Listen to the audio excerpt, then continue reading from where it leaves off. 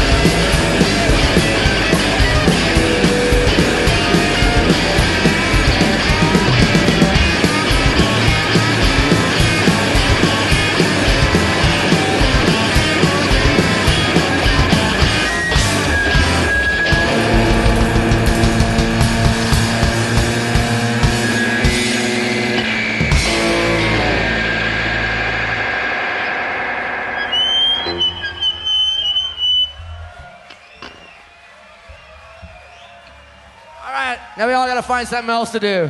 Thank you guys.